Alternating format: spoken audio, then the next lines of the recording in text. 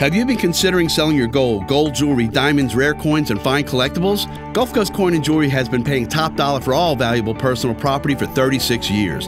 Gulf Coast is the authority on gold, diamonds, estate jewelry, and all fine collectibles. You worked hard to accumulate your wealth.